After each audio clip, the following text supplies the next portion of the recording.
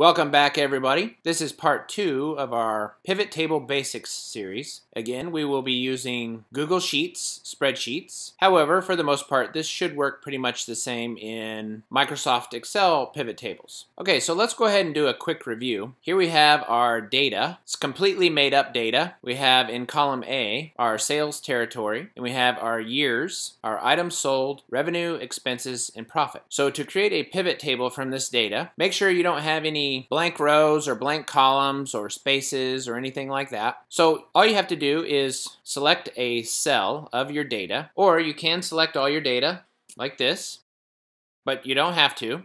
Go up to Data, go down to Pivot Table and click. Okay, so here we have our blank pivot table. The first thing we're going to do is go over to the Report Editor. We're going to go to the rows, click on the Add field. Let's go ahead and add our sales territory.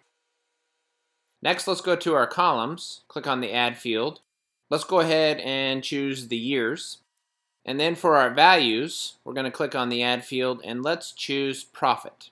Okay, so you can see here we have a quick summary of our profit separated by the sales territories here and the years here. Now one of the first things you might want to do is see who the top sales territories are. So let's sort that by our grand total here. Let's go over to our rows section here we want to sort descending and then sort by, click on this drop down, sum of profit, and then choose grand total. Okay, so we can see that the top three, and this is just review from part one, we can see that the top three sales territories are US, China, and Japan.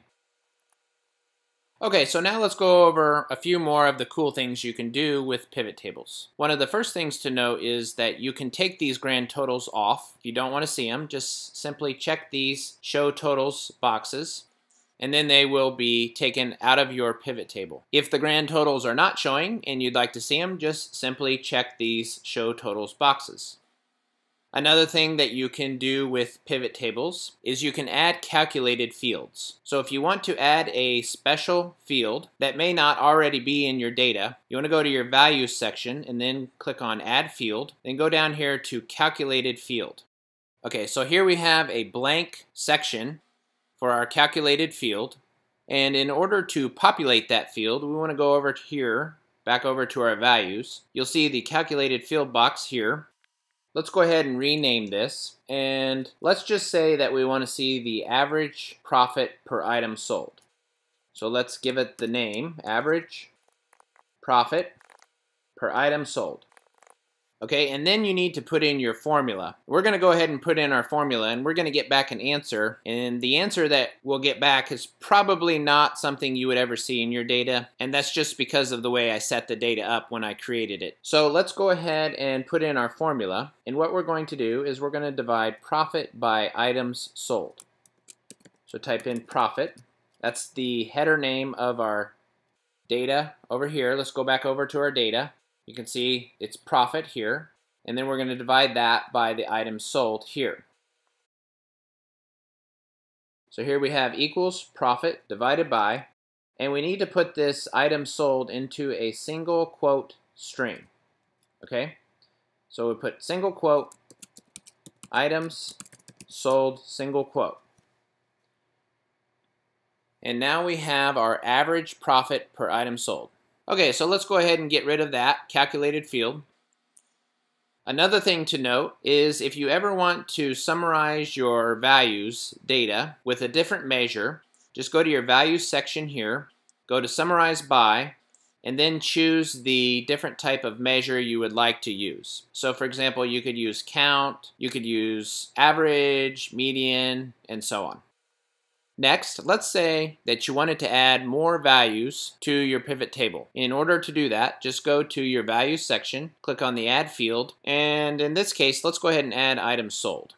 Okay, so now we can see, along with our profit numbers, we also have our items sold numbers. And if this is a little bit hard to view, you can always go over here to the values section and change this as from columns to rows. So now we have our sales territory and then we have the profit and items sold for each of those sales territory displayed in a slightly different way. Okay, let's go ahead and get rid of the items sold. Another cool thing you can do is you can filter this pivot table. So in order to do that, just go to your filter section, click on add field, and let's say we want to filter this for one of the sales territories. So we clicked on the sales territory. Now we click on the drop down for the show. Let's go ahead and clear all these. And let's choose United Kingdom. Click OK. And now you have your pivot table filtered for one sales territory. So let's get rid of that. And let's add another filter. Let's say this time we want to filter for a certain year. So we clicked on the year. Let's click on the show drop down. Let's clear all these and let's filter for 2014. And if you wanted to, you could filter with different combinations, okay? But let's just choose 2014. Click OK. And now we have it filtered by the year. Okay, so let's get rid of our filter. Now let's go over a few different ways that you could visualize this data very quickly. So one really cool thing you can do is you can actually add a little trend line inside of a cell next to your data. And these are called spark lines. So in order to use a spark line, we're just going to click on a cell in an empty column next to our pivot table. We're going to type out equals, and then we're going to type out spark line. We're going to choose the spark line, and we're going to choose our data. So we've chosen the data for the US in this case. And if you just hit enter, you'll see a spark line or a trend line for the years 2012 through 2015 for the US. Now if we want to see the spark lines or trend lines for all the sales territories, we'll just go ahead and drag that down. Let's add a little bit of formatting.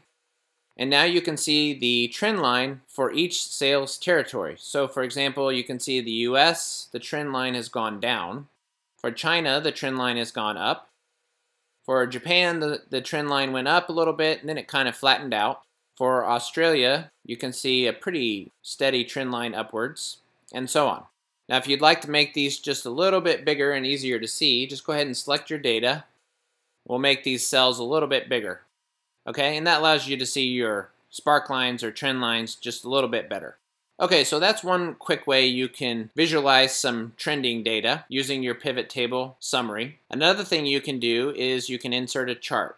So in this case, we're just going to select a cell of our pivot table. Then we want to go up to our toolbar here, and we're going to click on Insert Chart. And for this example, let's go ahead and choose this chart right here. And then we're going to click Insert. And now you have a quick little summary chart of your pivot table data. Okay, so I think that just about covers the basics for how to get started using pivot tables in Google Sheets. We will be doing many more spreadsheet tutorials in the near future. Join us for those, and we'll see you next time.